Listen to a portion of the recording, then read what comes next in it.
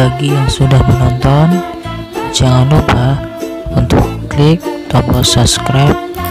Terima kasih. Selamat menonton.